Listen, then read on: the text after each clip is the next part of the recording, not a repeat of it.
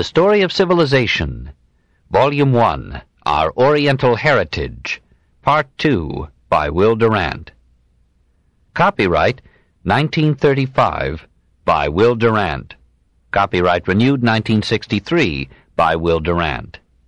This recording of the full-length reading of Our Oriental Heritage was published by arrangement with Monica Ariel Mihel, trustee Ethel B. Durant Trust, Monica Ariel Mahel and William James Durant Easton, and was produced in 1994 by Books on Tape Incorporated, which holds the copyright thereto.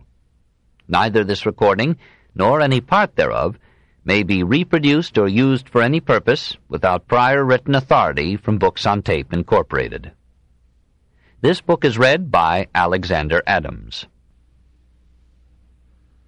The Story of Civilization, Volume 1, Our Oriental Heritage, Part 2, by Will Durant.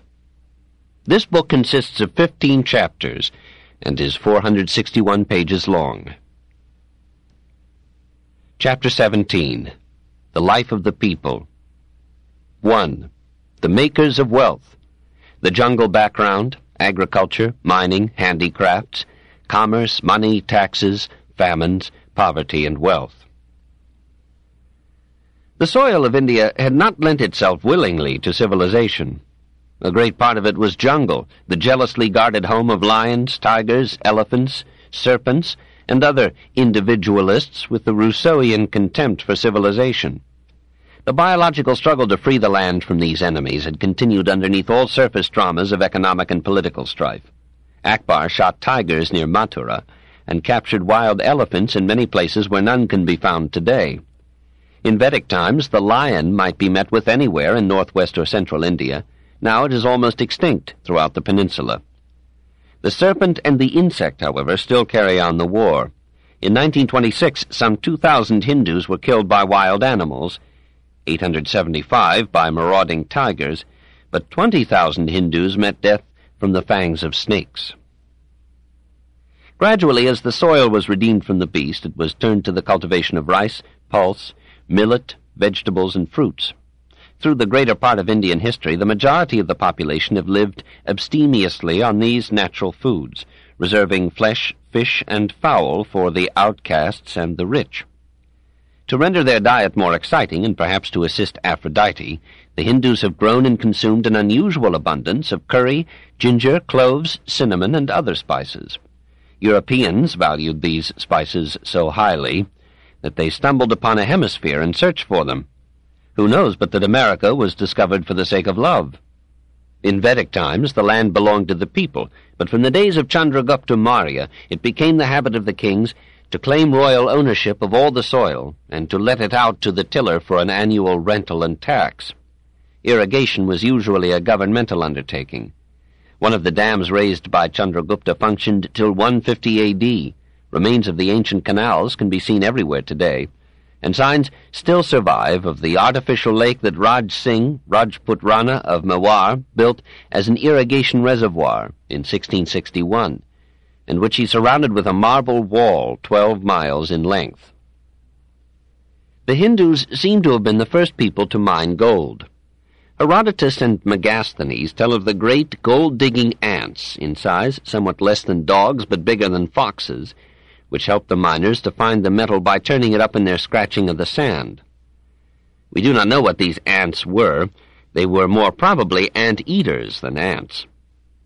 Much of the gold used in the Persian Empire in the 5th century before Christ came from India. Silver, copper, lead, tin, zinc, and iron were also mined, iron as early as 1500 BC. The art of tempering and casting iron developed in India long before its known appearance in Europe. Vikramaditya, for example, erected at Delhi, in circa 380 AD, an iron pillar that stands untarnished today after fifteen centuries and the quality of metal or manner of treatment which has preserved it from rust or decay is still a mystery to modern metallurgical science. Before the European invasion, the smelting of iron in small charcoal furnaces was one of the major industries of India. The Industrial Revolution taught Europe how to carry out these processes more cheaply, on a larger scale, and the Indian industry died under the competition. Only in our own time are the rich mineral resources of India being again exploited and explored. The growing of cotton appears earlier in India than elsewhere. Apparently it was used for cloth in Mohenjo-Daro. In our oldest classical reference to cotton, Herodotus says with pleasing ignorance, Certain wild trees there bear wool instead of fruit, which in beauty and quality excels that of sheep and the Indians make their clothing from these trees. It was their wars in the Near East that acquainted the Romans with this tree-grown wool. Arabian travelers in ninth century India reported that in this country they make garments of such extraordinary perfection that nowhere else is their like to be seen, sewed and woven to such a degree of fineness they may be drawn through a ring of moderate size. The medieval Arabs took over the art from India and their word kutan gave us our word cotton. The name muslin was originally applied to fine cotton weaves made in Mosul from Indian models. Calico was so called because it came, first in 1631, from Calicut, on the southwestern shores of India. Embroidery, says Marco Polo, speaking of Gujarat in 1293 AD, is here performed with more delicacy than in any other part of the world. The shawls of Kashmir and the rugs of India bear witness even today to the excellence of Indian weaving in texture and design. But weaving was only one of the many handicrafts of India, and the weavers were only one of the many craft and merchant guilds that organized and regulated the industry of India. Europe looked upon the Hindus as experts in almost every line of manufacture. Woodwork, ivory work, metalwork, bleaching, dyeing, tanning, soap making, glass blowing, gunpowder, fireworks, cement, etc. China imported eyeglasses from India in 1260 AD. Bernier, traveling in India in the 17th century, described it as humming with industry. Fitch in 1585 saw a fleet of 180 boats carrying a great variety of goods down the river Jumna. Internal trade flourished. Every roadside was, and is, a bazaar. The foreign trade of India is as old as her history.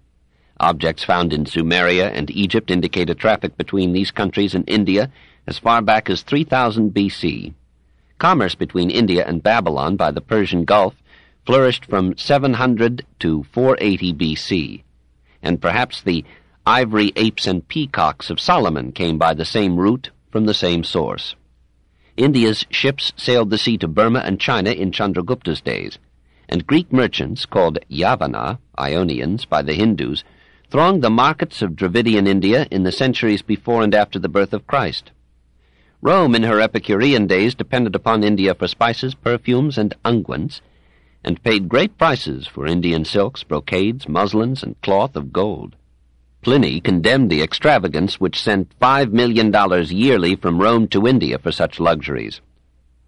Indian cheetahs Tigers and elephants assisted in the gladiatorial games and sacrificial rites of the Colosseum.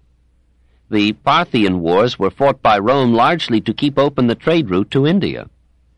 In the seventh century, the Arabs captured Persia and Egypt, and thereafter trade between Europe and Asia passed through Moslem hands, hence the Crusades and Columbus. Under the Moguls, foreign commerce rose again. The wealth of Venice, Genoa, and other Italian cities grew through their service as ports for European trade with India and the East. The Renaissance owed more to the wealth derived from this trade than to the manuscripts brought to Italy by the Greeks. Akbar had an admiralty which supervised the building of ships and the regulation of ocean traffic. The ports of Bengal and Sind were famous for shipbuilding, and did their work so well that the Sultan of Constantinople found it cheaper to have his vessels built there than in Alexandria, even the East India Company had many of its ships built in Bengal docks. The development of coinage to facilitate this trade took many centuries. In Buddha's days, rough rectangular coins were issued by various economic and political authorities, but it was not until the fourth century before Christ that India, under the influence of Persia and Greece, arrived at a coinage guaranteed by the state.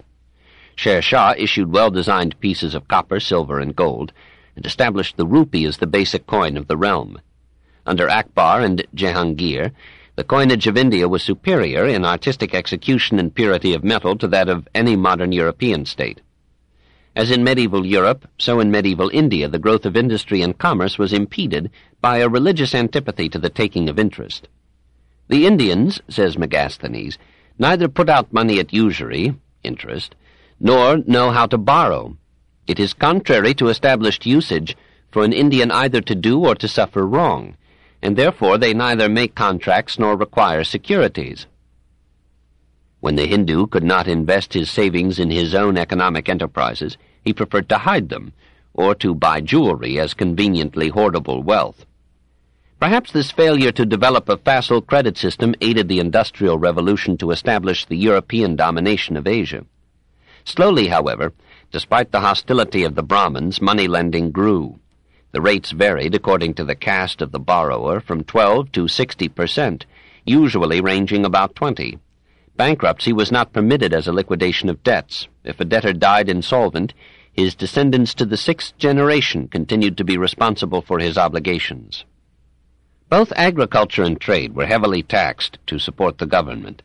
The peasant had to surrender from one-sixth to one-half of his crop and as in medieval and contemporary Europe, many tolls were laid upon the flow and exchange of goods. Akbar raised the land tax to one-third, but abolished all other exactions. The land tax was a bitter levy, but it had the saving grace of rising with prosperity and falling with depression, and in famine years the poor could at least die untaxed. For famines occurred even in Akbar's palmy days. That of 1556 seems to have led to cannibalism and widespread desolation. Roads were bad, transportation was slow, and the surplus of one region could with difficulty be used to supply the dearth of another. As everywhere, there were extremes of poverty and wealth, but hardly so great as in India or America today. At the bottom was a small minority of slaves. Above them, the Shudras were not so much slaves as hired men, though their status, like that of almost all Hindus, was hereditary. The poverty described by Pere Dubois, 1820, was the result of fifty years of political chaos, under the Mughals, the condition of the people had been relatively prosperous. Wages were modest, ranging for manual workers from three to nine cents a day in Akbar's reign, but prices were correspondingly low. In 1600, a rupee, normally thirty-two and a half and a half cents, bought 194 pounds of wheat, or 278 pounds of barley. In 1901, it bought only 29 pounds of wheat, or 44 pounds of barley. An Englishman resident in India in 1616 described the plenty of all provisions as very great throughout the whole monarchy, and added that everyone there may eat bread without scarceness. Another Englishman, touring India in the 17th century, found that his expenses averaged four cents a day. The wealth of the country reached its two peaks under Chandragupta Maurya and Shah Jahan. The riches of India under the Gupta kings became a proverb throughout the world. Yuan Chuang, pictured an Indian city as beautified with gardens and pools, and adorned with institutes of letters and arts. The inhabitants were well off, and there were families with great wealth. Fruit and flowers were abundant. The people had a refined appearance and dressed in glossy silk attire. They were clear and suggestive in discourse. They were equally divided between orthodoxy and heterodoxy. The Hindu kingdoms overthrown by the Moslems, says Elphinstone, were so wealthy that the historians tire of telling of the immense loot of jewels and coin captured by the invaders. Niccolo Conti described the banks of the Ganges, circa 1420, as lined with one prosperous city after another, each well designed, rich in gardens and orchards, silver and gold, commerce and industry. Shah Jahan's treasury was so full that he kept two underground strong rooms, each of some 150,000 cubic feet capacity, almost filled with silver and gold. Contemporary testimonies, says Vincent Smith, permit of no doubt that the urban population of the more important cities was well-to-do. Travelers described Agra and Fatehpur Sikri as each greater and richer than London. Anquetil Duperron, journeying through the Maratha districts in 1760, found himself in the midst of the simplicity and happiness of the Golden Age. The people were cheerful, vigorous, and in high health.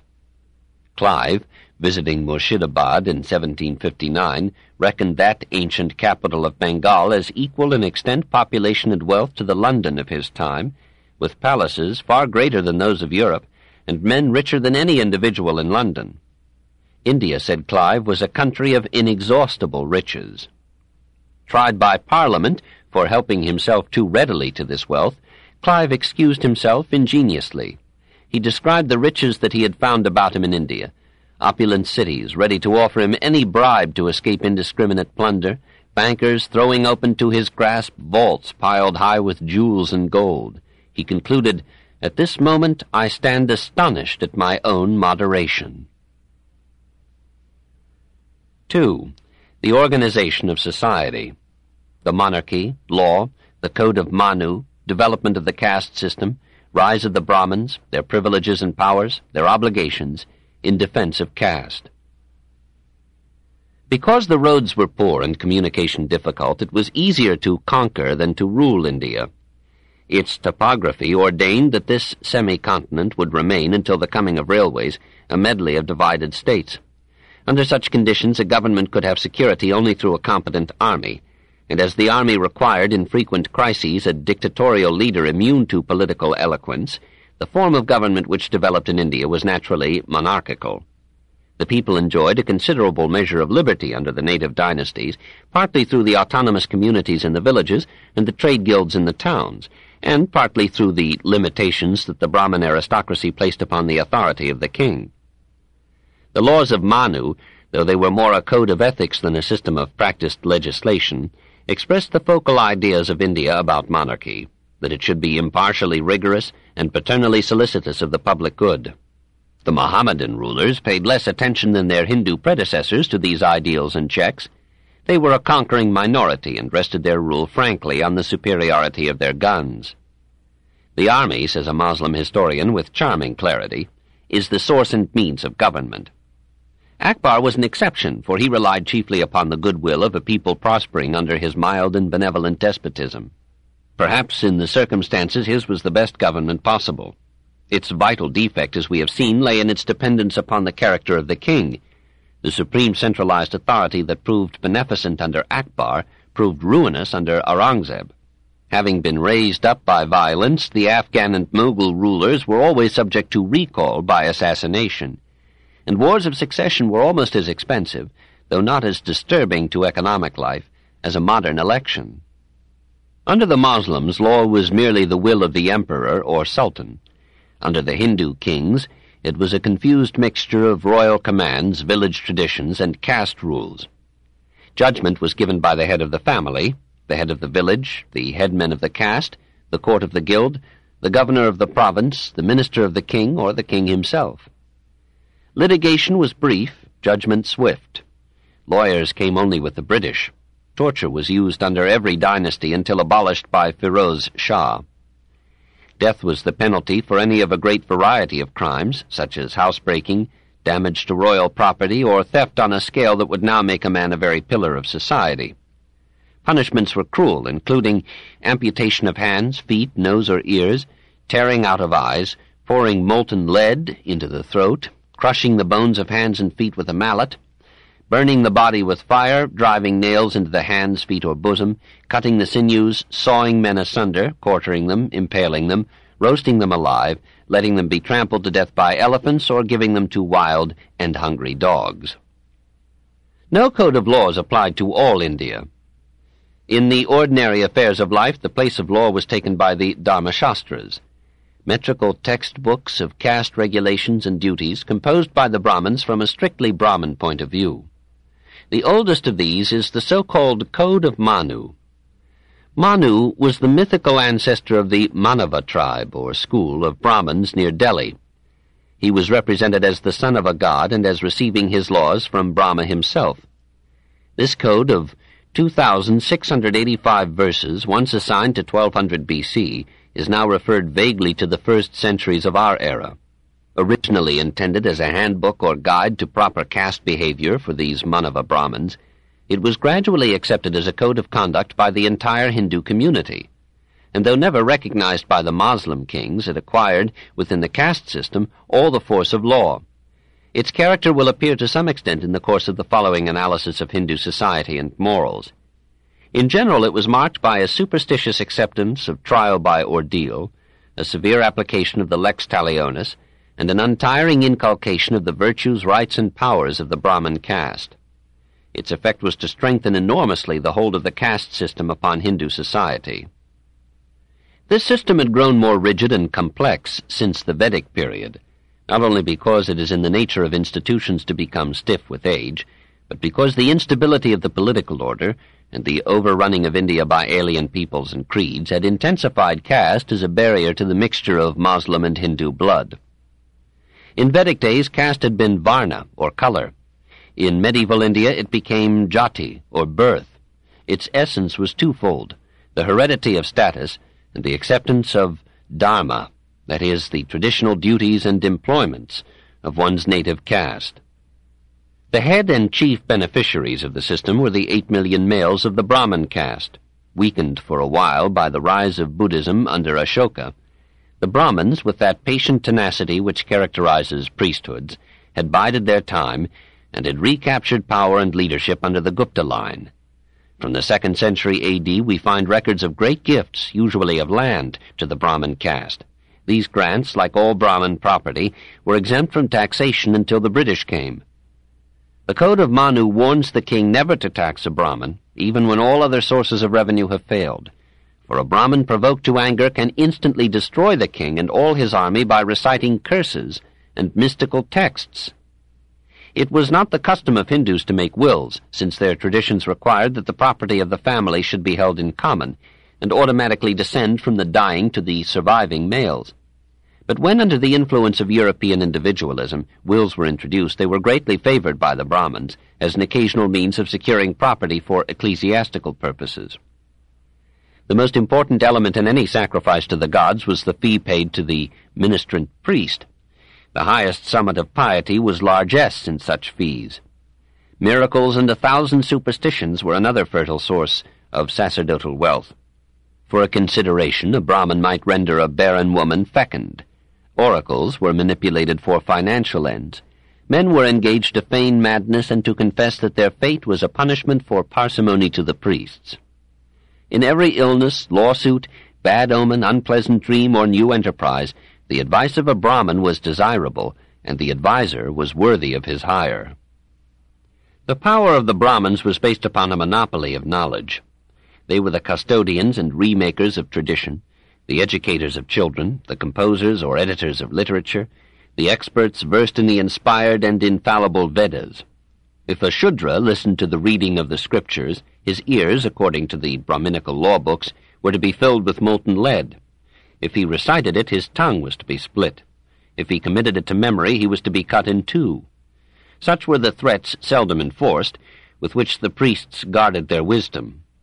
Brahmanism thus became an exclusive cult, carefully hedged around against all vulgar participation. According to the Code of Manu, a Brahmin was by divine right at the head of all creatures. He did not, however, share in all the powers and privileges of the order until, after many years of preparation, he was made twice born, or regenerate, by solemn investiture with the triple cord. From that moment he became a holy being. His person and property were inviolate. Indeed, according to Manu, all that exists in this universe is the Brahman's property.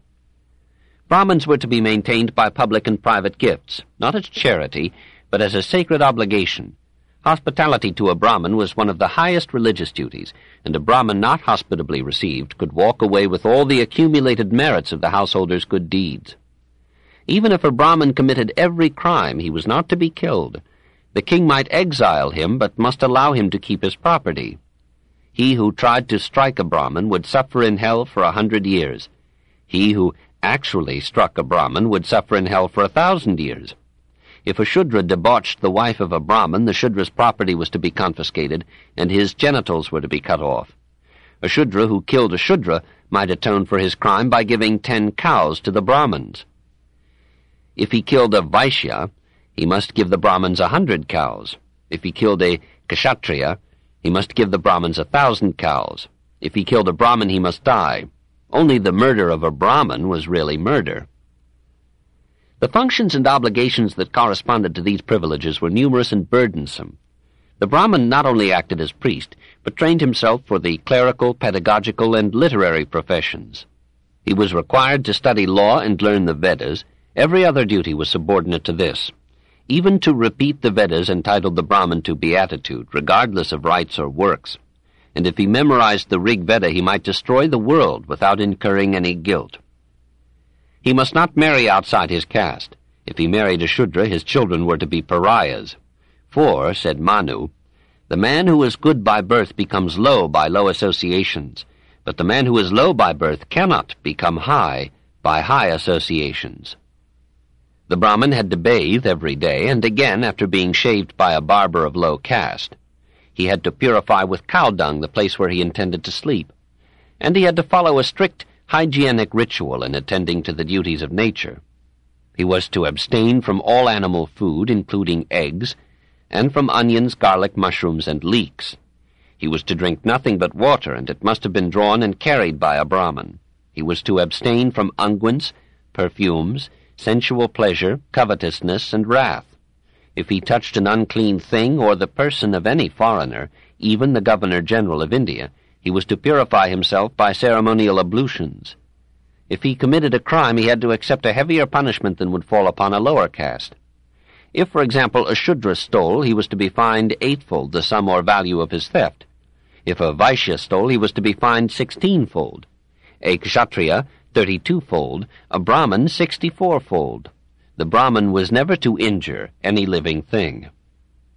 Given a moderate observation of these rules, and a people too burdened with the tillage of the fields, and therefore too subject to the apparently personal whims of the elements, to rise out of superstition to education, the power of the priests grew from generation to generation, and made them the most enduring aristocracy in history. Nowhere else can we find this astonishing phenomenon, so typical of the slow rate of change in India, of an upper class maintaining its ascendancy and privileges through all conquests, dynasties, and governments for twenty-five hundred years. Only the outcast Chandalas can rival them in perpetuity. The ancient Kshatriyas, who had dominated the intellectual as well as the political field in the days of Buddha, disappeared after the Gupta age. And though the Brahmins recognized the Rajput warriors as the later equivalent of the old fighting caste, the Kshatriyas, after the fall of Rajputana, soon became extinct. At last only two great divisions remained. The Brahmins, as the social and mental rulers of India, and beneath them three thousand castes, that were in reality industrial guilds. Much can be said in defense of what, after monogamy, must be the most abused of all social institutions. The caste system had the eugenic value of keeping the presumably finer strains from dilution and disappearance through indiscriminate mixture. It established certain habits of diet and cleanliness as a rule of honor which all might observe and emulate. It gave order to the chaotic inequalities and differences of men, and spared the soul the modern fever of climbing and gain. It gave order to every life by prescribing for each man a dharma, or code of conduct for his caste. It gave order to every trade and profession, elevated every occupation into a vocation, not likely to be changed, and by making every industry a caste, provided its members with the means of united action against exploitation and tyranny. It offered an escape from the plutocracy or the military dictatorship, which are apparently the only alternatives to aristocracy. It gave to a country shorn of political stability by a hundred invasions and revolutions a social, moral, and cultural order and continuity rivaled only by the Chinese. Amid a hundred anarchic changes in the state, the Brahmins maintained, through the system of caste, a stable society and preserved, augmented, and transmitted civilization. The nation bore with them patiently, even proudly, because everyone knew that in the end they were the one indispensable government of India. 3. Morals and marriage.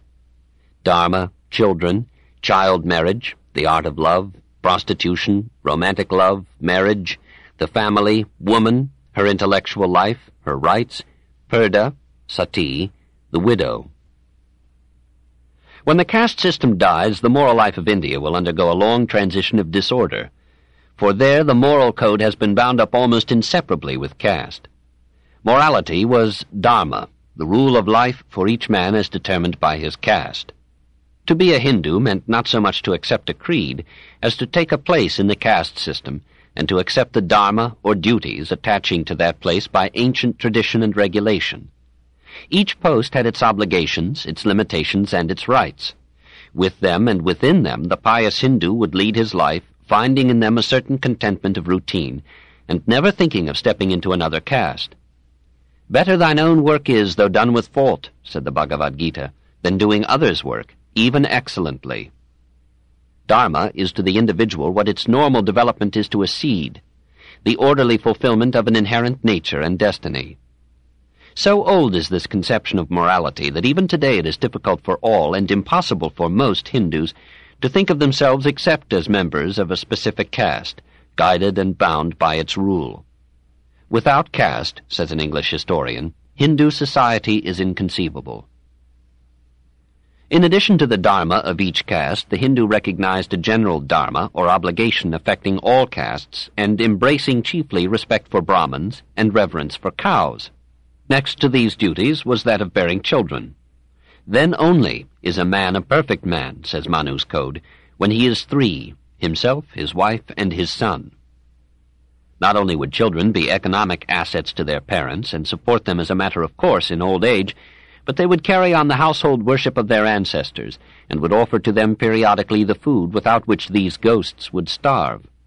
Consequently, there was no birth control in India, and abortion was branded as a crime equal to the murder of a Brahmin. Infanticide occurred, but it was exceptional. The father was glad to have children and proud to have many. The tenderness of the old to the young is one of the fairest aspects of Hindu civilization. The child was hardly born when the parents began to think of its marriage. For marriage in the Hindu system was compulsory. An unmarried man was an outcast, without social status or consideration, and prolonged virginity was a disgrace. Nor was marriage to be left to the whim of individual choice or romantic love.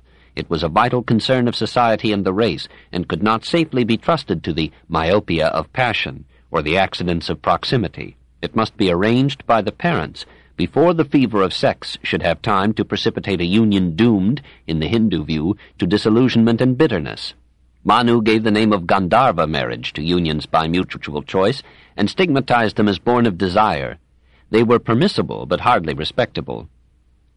The early maturity of the Hindu, making a girl of twelve as old as a girl of fourteen or fifteen in America, created a difficult problem of moral and social order. It should be added that Gandhi denies that this precocity has any physical basis. I loathe and detest child marriage, he writes. I shudder to see a child widow. I have never known a grosser superstition than that the Indian climate causes sexual precocity. What does bring about untimely puberty is the mental and moral atmosphere surrounding family life. Should marriage be arranged to coincide with sexual maturity, or should it be postponed, as in America, until the male arrives at economic maturity? The first solution apparently weakens the national physique, unduly accelerates the growth of population, and sacrifices the woman almost completely to reproduction. The second solution leaves the problems of unnatural delay, sexual frustration, prostitution, and venereal disease. The Hindus chose child marriage as the lesser evil and tried to mitigate its dangers by establishing, between the marriage and its consummation, a period in which the bride should remain with her parents until the coming of puberty. The institution was old and therefore holy. It had been rooted in the desire to prevent intercaste marriage through casual sexual attraction. It was later encouraged by the fact that the conquering and otherwise ruthless Moslems were restrained by their religion from carrying away married women as slaves. And finally it took rigid form in the parental resolve to protect the girl from the erotic sensibilities of the male. That these were reasonably keen, and that the male might be trusted to attend to his biological functions on the slightest provocation, appears from the Hindu literature of love. The Kama Sutra, or Doctrine of Desire, is the most famous in a long list of works revealing a certain preoccupation with the physical and mental technique of sex. It was composed, the author assures us, according to the precepts of Holy Writ for the benefit of the world by Vatsyayana, while leading the life of a religious student at Benares and wholly engaged in the contemplation of the deity. He who neglects a girl, thinking she is too bashful, says this anchorite, is despised by her as a beast ignorant of the working of the female mind. Vatsyayana gives a delightful picture of a girl in love, but his wisdom is lavished chiefly upon the parental art of getting her married away and the husbandly art of keeping her physically content. We must not presume that the sexual sensitivity of the Hindu led to any unusual license. Child marriage raised a barrier against premarital relations, and the strong religious sanctions used in the inculcation of wifely fidelity made adultery far more difficult and rare than in Europe or America. prostitution was for the most part confined to the temples. In the south, the needs of the Assyrian male were met by the providential institution of devadasis, literally servants of the gods, actually prostitutes. Each Tamil temple had a troop of sacred women engaged at first to dance and sing before the idols, and perhaps to entertain the Brahmins. Some of them seemed to have lived lives of almost conventual seclusion. Others were allowed to extend their services to all who could pay, on condition that a part of their earnings should be contributed to the clergy. Many of these temple courtesans, or nautch girls, provided dancing and singing in public functions and private gatherings in the style of the geishas of Japan. Some of them learned to read, and like the hetairai of Greece, furnished cultured conversation in homes where the married women were neither encouraged to read nor allowed to mingle with the guests. In 1004 AD, as a sacred inscription informs us, the temple of the Chola king Rajaraja Tanjore had 400 devadasis. The custom acquired the sanctity of time, and no one seems to have considered it immoral. Respectable women now and then dedicated a daughter to the profession of temple prostitute in much the same spirit in which a son might be dedicated to the priesthood. Dubois, at the beginning of the nineteenth century, described the temples of the South as in some cases converted into mere brothels. The Devadasis, whatever their original functions, were frankly called harlots by the public and were used as such. If we may believe the old abbe, who had no reason to be prejudiced in favor of India, their official duties consist in dancing and singing within the temples twice a day, and also at all public ceremonies. The first they execute with sufficient grace, although their attitudes are lascivious and their gestures indecorous.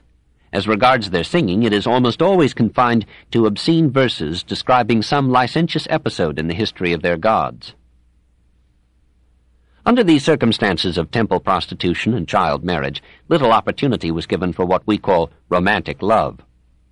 This idealistic devotion of one sex to the other appears in Indian literature, for example in the poems of Chandidas and Jayadeva, but usually as a symbol of the soul surrendering to God, while in actual life it took most often the form of a complete devotion of the wife to her mate. The love poetry is sometimes of the ethereal type depicted by the Tennysons and Longfellows of our Puritan tradition. Sometimes it is the full-bodied and sensuous passion of the Elizabethan stage. One writer unites religion and love, and sees in either ecstasy a recognition of identity. Another lists the 360 different emotions that fill the lover's heart, and counts the patterns which his teeth have left on his beloved's flesh, or shows him decorating her breasts with painted flowers of sandal paste. And the author of the Nala and Damayanti episode in the Mahabharata describes the melancholy sighs and pale dyspepsia of the lovers in the best style of the French troubadours. Such whimsical passions were seldom permitted to determine marriage in India. Manu allowed eight different forms of marriage, in which marriage by capture and marriage from affection were ranked lowest in the moral scale, and marriage by purchase was accepted as the sensible way of arranging a union. In the long run, the Hindu legislator thought, those marriages are most soundly based that rest upon an economic foundation. In the days of Dubois, to marry and to buy a wife were synonymous expressions in India. The wisest marriage was held to be one arranged by the parents with full regard for the rules of endogamy and exogamy. The youth must marry within his caste and outside his gotra, or group. He might take several wives, but only one of his own caste, was to have precedence over the rest. Preferably, said Manu, he was to be monogamous. The woman was to love her husband with patient devotion. The husband was to give his wife not romantic affection, but solicitous protection. The Hindu family was typically patriarchal, with the father full master of his wife, his children, and his slaves. Woman was a lovely but inferior being. In the beginning, says Hindu legend, when Twastri, the divine artificer, came to the creation of woman, he found that he had exhausted his materials in the making of man, and had no solid elements left. In this dilemma he fashioned her eclectically out of the odds and ends of creation. He took the rotundity of the moon and the curves of the creepers, the clinging of tendrils and the trembling of grass, and the slenderness of the reed and the bloom of flowers, and the lightness of leaves, and the tapering of the elephant's trunk, and the glances of deer, and the clustering of rows of bees, and the joyous gaiety of sunbeams, and the weeping of clouds, and the fickleness of the winds, and the timidity of the hare, and the vanity of the peacock, and the softness of the parrot's bosom, and the hardness of adamant, and the sweetness of honey, and the cruelty of the tiger, and the warm glow of fire and the coldness of snow, and the chattering of jays and the cooing of the kokila, and the hypocrisy of the crane and the fidelity of the chakravaka, and compounding all these together he made woman and gave her to man. Nevertheless, despite all this equipment, woman fared poorly in India. Her high status in Vedic days was lost under priestly influence and Mohammedan example. The Code of Manu set the tone against her in phrases reminiscent of an early stage in Christian theology. The source of dishonor is woman, the source of strife is woman, the source of earthly existence is woman, therefore avoid woman.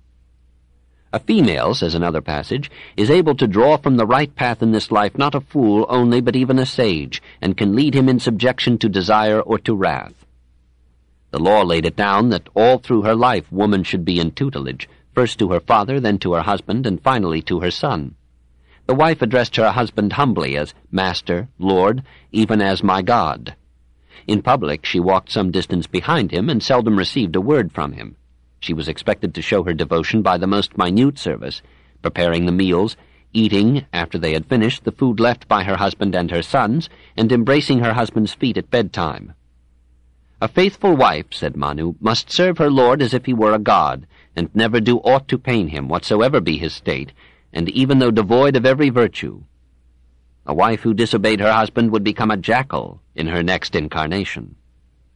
Like her sisters in Europe and America before our own times, the women of India received education only if they were ladies of high degree or temple prostitutes. The art of reading was considered inappropriate in a woman. Her power over men could not be increased by it, and her attractiveness would be diminished. Says Chitra in Tagore's play, when a woman is merely a woman, when she winds herself round and round men's hearts with her smiles and sobs and services and caressing endearments, then she is happy. Of what use to her are learning and great achievements? Knowledge of the Vedas was denied to her. For a woman to study the Vedas, says the Mahabharata, is a sign of confusion in the realm. Megasthenes reported in Chandragupta's days that the Brahmins keep their wives, and they have many wives, ignorant of all philosophy, for if women learned to look upon pleasure and pain, life and death, philosophically, they would become depraved, or else no longer remain in subjection. In the Code of Manu, three persons were ineligible to hold property a wife, a son, and a slave. Whatever these might earn became the property of their master. A wife, however, could retain as her own the dowry and gifts that she received at her nuptials, and the mother of a prince might govern in his stead during his minority. The husband could divorce his wife for unchastity. The woman could not divorce her husband for any cause. A wife who drank liquor, or was deceased, or rebellious, or wasteful, or quarrelsome, might at any time be not divorced, but superseded by another wife. Passages of the Code advocate an enlightened gentleness to women. They are not to be struck even with a flower. They are not to be watched too strictly, for then their subtlety will find a way to mischief and if they like fine raiment, it is wise to indulge them, for if the wife be not elegantly attired, she will not exhilarate her husband, whereas when a wife is gaily adorned, the whole house is embellished. Way must be made for a woman, as for the aged or a priest, and pregnant women, brides, and damsels shall have food before all other guests. Though woman could not rule as a wife, she might rule as a mother, the greatest tenderness and respect was paid to the mother of many children, and even the patriarchal code of Manu said, The mother exceedeth a thousand fathers in the right to reverence. Doubtless the influx of Islamic ideas had something to do with the decline in the status of woman in India after Vedic days. This book is continued at this point on the other side of this cassette. Please reverse or turn the cassette over now.